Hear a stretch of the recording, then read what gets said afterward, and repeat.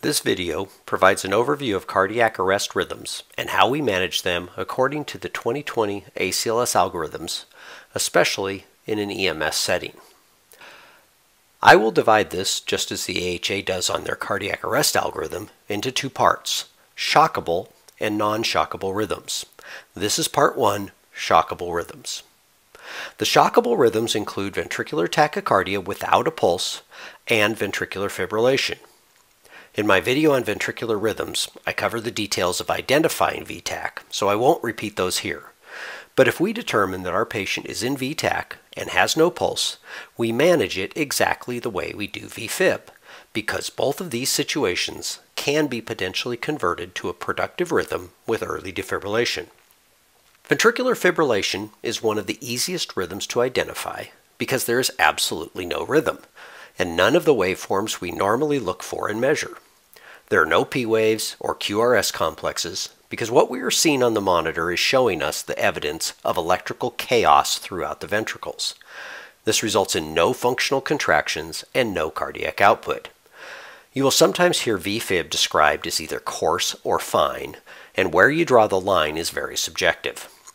The important point here is that the size or amplitude of what you see on the tracing reflects the electrical energy and activity in the heart. The more activity we see, the more likely that defibrillation will be effective. VFib and pulseless VTach are the only shockable rhythms. So if you find your patient in these rhythms at any point, defibrillation is your immediate priority. After defibrillation, we do not wait to see if it worked. We immediately start CPR. Even if defibrillation is successful, the heart at this point is likely to need the support that CPR provides for at least a couple minutes, and we build our resuscitation strategy around two minute cycles of CPR. During the first cycle of CPR, we should establish IV access. The AHA recommends IV as the first option and intraosseous as an alternative if an IV can't be established. At the end of every two minute cycle of CPR, we should have our defibrillator pre-charged Pause CPR just long enough to assess the rhythm, deliver a shock if still indicated, and immediately resume CPR.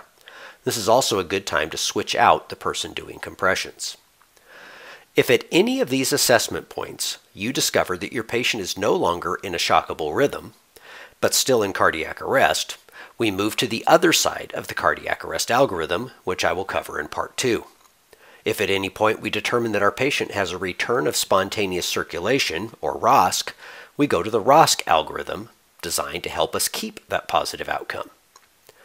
If still in a shockable rhythm, in the next cycle we should administer 1.0 milligrams of epinephrine and consider an advanced airway, including a capnography assessment. Epi can be repeated every 3 to 5 minutes, but since we are doing two minute cycles, it makes perfect sense to simply give it every four minutes, which is every other cycle. The second drug we administer to shockable rhythms is either amiodarone or lidocaine, and we give one of those antidysrhythmic drugs in the next cycle following our first epi administration.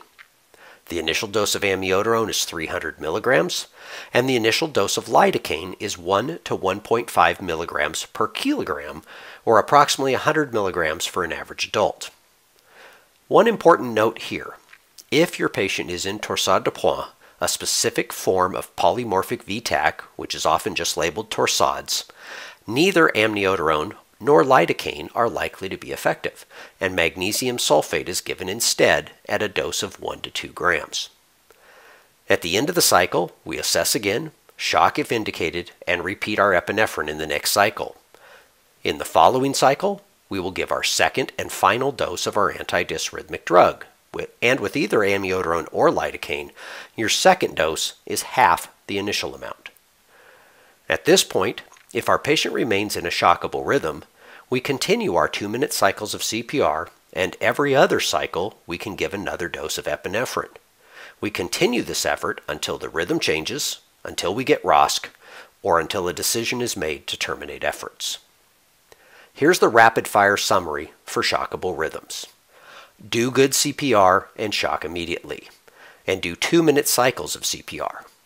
Get an IV, shock, epinephrine, advanced airway, shock, amiodarone or lidocaine, shock, epi, shock, amiodarone or lidocaine, shock, and then continue CPR, shocking, and epi every other cycle until we aren't on this algorithm anymore. In cardiac arrest part 2, I will outline the strategies for our non-shockable rhythms.